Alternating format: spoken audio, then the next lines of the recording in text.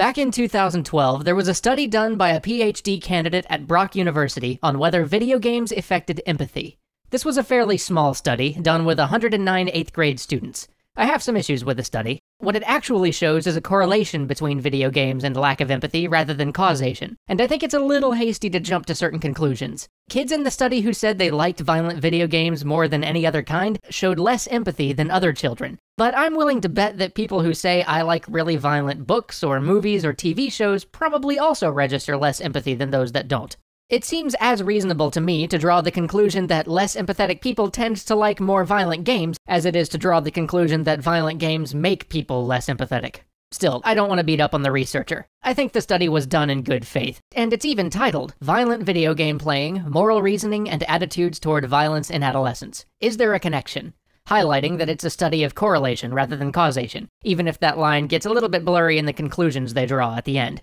But for some reason, over the last few months, this study has come up again and again, with BBC articles featuring titles like Violent Video Games Leave Teens Morally Immature, and BGR's fabulously titled Researchers, Playing Too Much GTA Actually Can Make You a Sociopath. In fact, it seems like the BBC gloss of this study has been making the rounds. James has been asked about it at conferences and confronted with it when speaking with politicians. But for all that, it's not really this study that I want to talk about today. I've already covered my issues with it, and I think anybody doing even a cursory reading of the study itself will find that it doesn't in any way show, or really even attempt to show, a direct causal link between violent video games and a lack of empathy. In fact, if that's an argument you really want to make, there are other more robust studies that you could turn to, though I think the conclusions they draw are also debatable.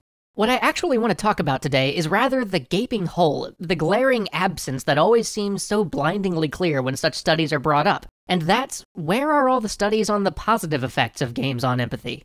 Almost anybody who's played video games for an extended period of time can relate at least one empathetic experience they've had within a game. We can almost all point to a time when a game made us better understand a pain that we'd perhaps never felt in our lives, and how that helped us be more sensitive to others suffering from that pain. And that's the magical thing about games. They let us walk a mile in somebody else's shoes. They let us take on a life that we'd never actually be able to experience in this world, and in doing so, help us understand a little bit about it.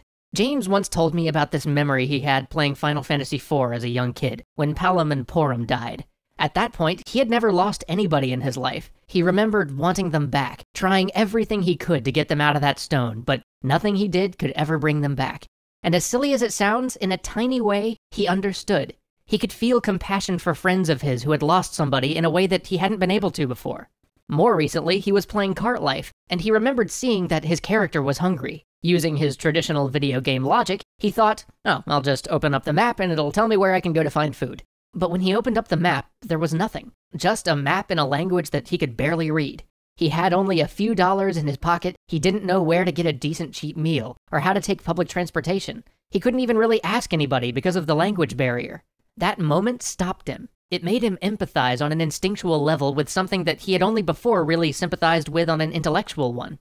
Or even just a few weeks back, he was playing This War of Mine, and one of his characters was out scavenging, and he heard a conversation happening between a soldier and a young woman. On the other side of the door, he overheard the soldier threatening the woman, coercing her into sex. He stood on the other side of the door, undetected, unnoticed. His first thought was that he could try to rush in and try to save her.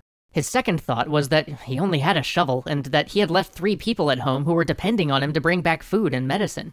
If he let the soldier drag off this woman and rape her, he could almost certainly ensure that his little surrogate family would live for a few more days, gathering the supplies they so desperately needed while the soldier was distracted by this terrible act. This choice wrecked James. He had to put the game down for a while.